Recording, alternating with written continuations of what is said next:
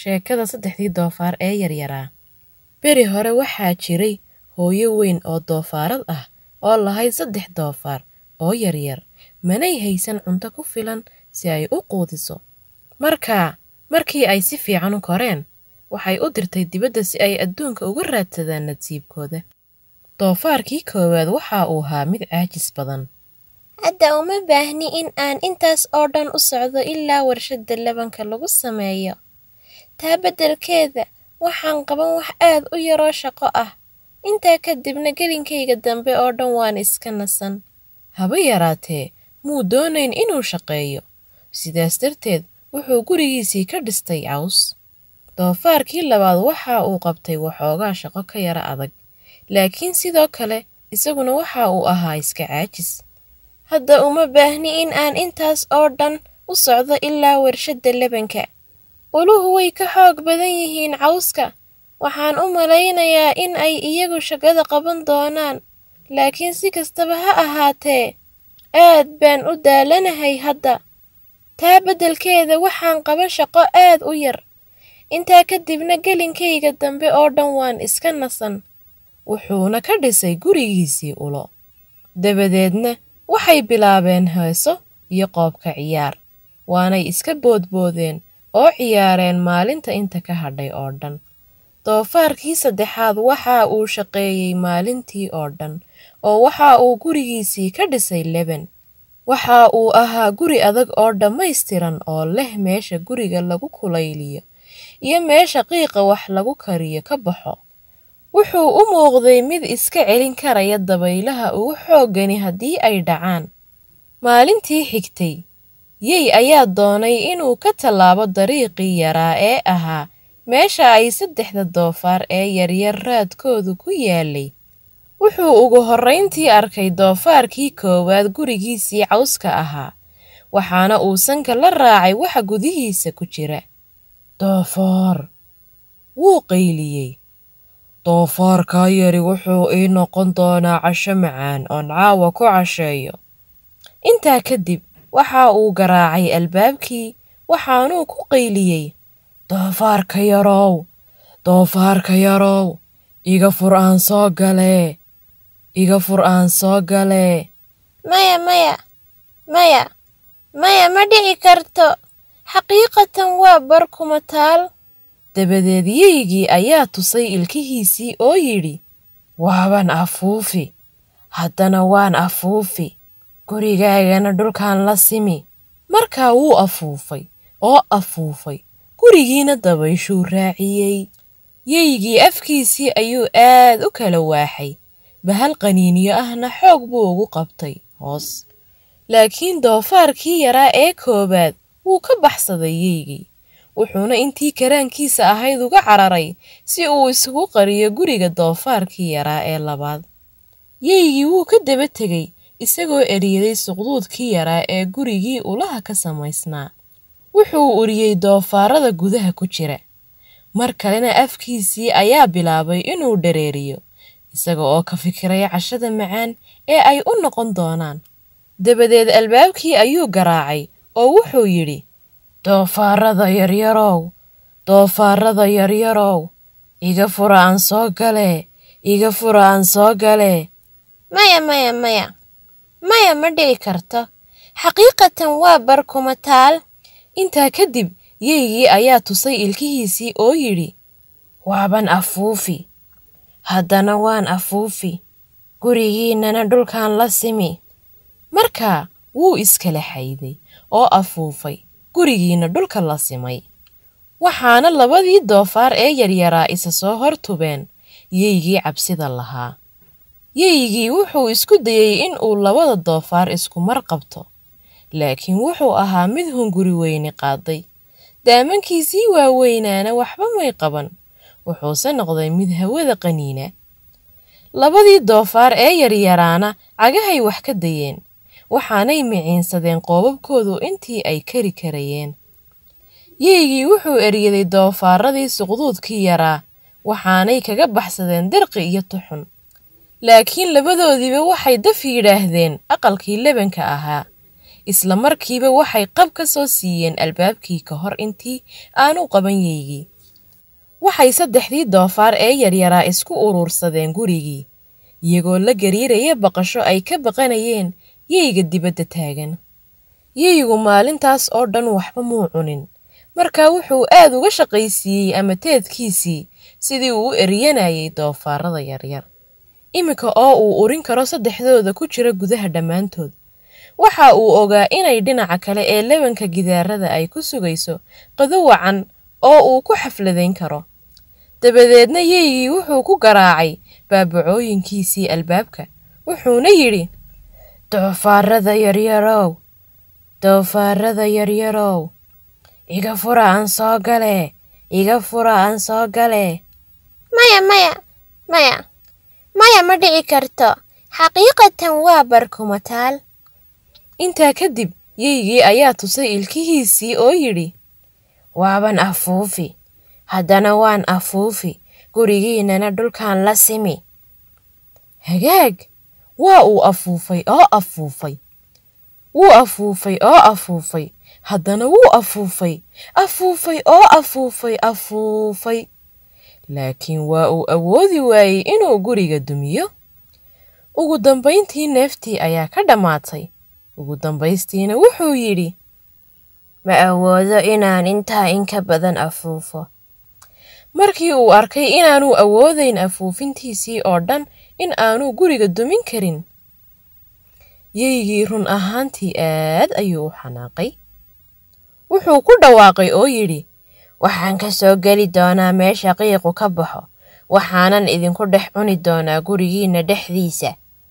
Markii ay arkeen saddexdii doofaar ee yaryaraa waxa uu samayn doono waxay ka soo laadlaadiyeen meeshii xaabada dabka dheri ay biyo ka buuxaan. Waxaanay shideen dab olol badan leh. Markii ay arkeen in uu soo socdo yeygii waxa ay daboolkii ka qaadeen dherigii karayey. Yeygiina wuxuu ku dhacay si toos ah biyihii karkarayey doofaarkii yaraa ayaa si dhaqso ah ugu xidhay daboolka. Taasina waxay ahayd dhammaadka yeygii weynaa ee xumaa.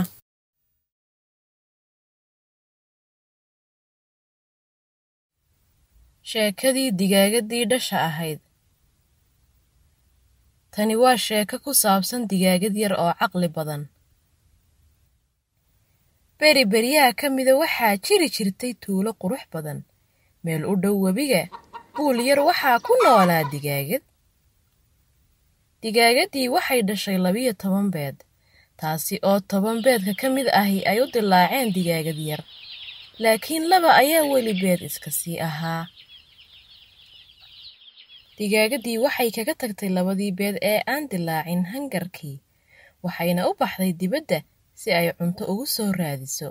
Tobankii digaagadood ee yaryaraa ayaa raacay. Wakhtigaa labadii beed ee aan dilaacin mid ka mid ah ayaa soo baxday iyada oo sankeeda yar kaga soo garaacaysa qolofta beedka xaggeeda hoose. Digaagadii dhasha ahayd ee miskiinta ahayd waxay isla markii ay dibadda u soo baxdayba ka baadhay hooyadeed meel kasta. Laakiin nasiib xumo hooyadeed way arki weyday waxayna aragtaa in goobtu ay wada cidlo tahay. Arrintani waxay digaagadii dhasha ahayd ka dhigtay mid murugaysan. Markaa waxay bilowday inay hooyadeed soo baadho keligeed. Isla markii ay go'aansatay inay raadiso hooyadeed baalasheedii ayay kor iyo hoos u qaaday. Waxayna bilowday inay ka soo socdaasho hangarkii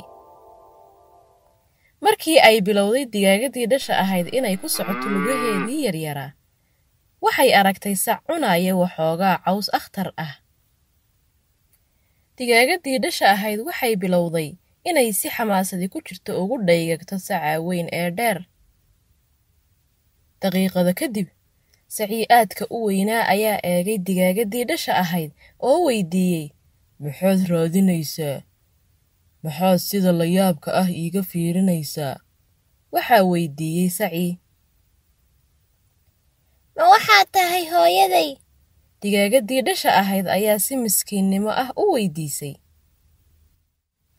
Saci wuu ka naxay markii uu arkay digaagadii dhasha ahayd miskiinnimadeeda waxaana uu yidhi i eeg eeg sida aan u weynahay ee aan u dheerahay. Xajmi ahaan hooyadaa aniga way iga yar tahay alla hooyaday miyay kaa yar tahay? Waxaa weydiisay digaagadii dhasha ahayd. Intaa kadib waxay sii wadatay socodkeedii ay ku baadhaysay hooyadeed. Waxoogaa wakhti ah kadib digaagadii dhasha ahayd waxay aragtay ri cunaysa waxoogaa caleemo ah. Waxay u tagtay ridii oo weydiisay waxaad u muuqataa inaad ka yar tahay sac. Ma waxaad tahay hooyaday waxaa weydiisay digaagadii dhasha ahayd. Haa waan ka yarahay sac laakiin waxaan leeyahay afar lugood. Si kastaba ha ahaatee sidaadoo kale hooyadaa waxay leedahay laba lugood iyo laba baal. Waxaa tidhi ridii digaagadii dhasha ahayd aad ayay u murugootay. Markii ay dhagaysatay waxa ay ridu tidhi waxay go'aansatay inay in yar oo fog sii socoto oo sii waddo hooyadeed baadhitaankeeda